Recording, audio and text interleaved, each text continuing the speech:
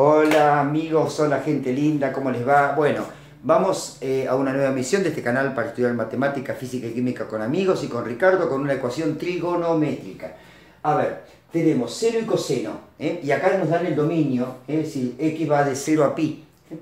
Este, fíjense que sea x, ¿no? porque en algunos, en algunos ejercicios te, por ahí te aparece x acá y alfa acá, nada que ver con nada, ¿eh? pongámonos de acuerdo. Este, esta x es la que está acá y acá. Bien, a ver, estrategia, no puedo trabajar con seno y coseno, muchachos, o trabajamos todo con seno o todo con coseno. Para eso nos puede venir muy bien la relación que hay entre el seno y el coseno, que es bien conocida, seno cuadrado más coseno cuadrado del mismo ángulo siempre es 1. ¿eh? De aquí, fíjense que nos podemos deshacer del seno, porque seno cuadrado, ¿quién es? 1 restado coseno cuadrado.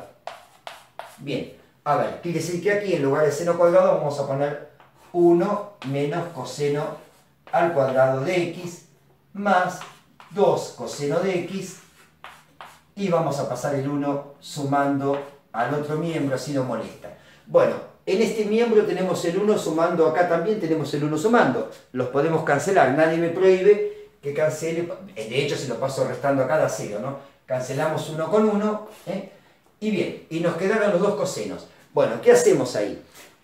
Consejo de hermano, tenés coseno y coseno, uno al cuadrado, el otro, ¿eh? si no lo sumaríamos, si uno no estuviera al cuadrado. Sacá factor común coseno, fíjate si yo saco factor común coseno, ¿qué me queda? Acá, en nuestro primer término, me queda menos coseno de x, ¿verdad? Y en el segundo miembro me queda más 2.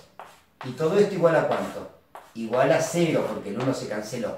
Bien, ¿qué tenemos? ¿Por qué saqué factor común? Porque lo convertí en una multiplicación. ¿Y sabés qué tiene de bueno? Cuando una multiplicación da 0, esto es muy simple o el primer factor es 0 o el otro factor es 0. Digo, uno de los dos tiene que ser 0. O sea, acá hay dos opciones posibles.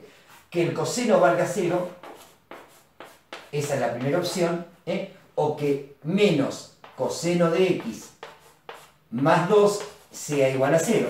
Bien, partamos de la primera premisa. ¿Cuándo el coseno vale 0? Bueno, a ver, eh, acá tenés, o conocés la gráfica del coseno, ¿eh? si conocés la gráfica del coseno vendría bárbaro, Ahí estamos. Ahí tenemos la gráfica del coseno. Acá el coseno este, toma el valor máximo de 1. Acá tenés pi sobre 2, donde el coseno vale 0. Acá tenés pi. Acá, fíjate que tenés pi sobre 2 y pi sobre 2, pi. pi sobre, a pi le sumamos pi sobre 2, nos da 3 medios pi. Ahí el coseno vuelve a valer 0 y acá 2pi, donde el coseno vuelve a valer 1. ¿eh? Bien, ¿Dónde el coseno vale 0? En pi sobre 2 y en 3 medios de pi. Ahí el coseno vale 0. Quiere decir que de aquí sacamos x como el arco coseno de 0, ¿verdad? Esa es la operación matemática que me permite, conociendo el coseno, calcular el ángulo. Bien, y de aquí sacamos dos soluciones, ¿verdad? Una es cuando x vale pi sobre 2, primera solución, y la otra es cuando x vale 3 medios pi.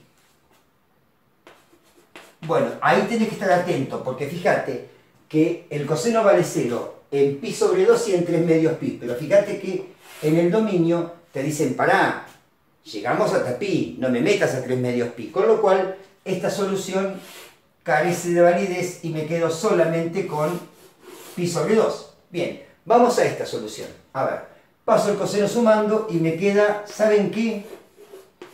Como yo siempre digo, el símbolo internacional del alfajor de pollo. Lo que acabo de escribir no existe. El coseno no puede ser ni más grande que 1 ni más chico que menos 1. O sea, el coseno va de menos 1 a 1, digamos. O sea, coseno igual a 2, imposible. Esto no existe, es una locura total. Con lo cual de aquí, de esta ecuación, la solución que arrojamos es la solución vacía porque no hay ninguna solución. Bien, entonces la única solución que arrojamos es la de pi sobre 2. ¿eh? Es la única válida y que cumple con nuestra ecuación. Bueno, espero que haya quedado claro, si no, me hace llegar tus dudas y tus comentarios a través de la página de Facebook MFQ Ricardo y ahí me vas a encontrar y me vas a consultar lo que quieras. Nos vemos en la próxima.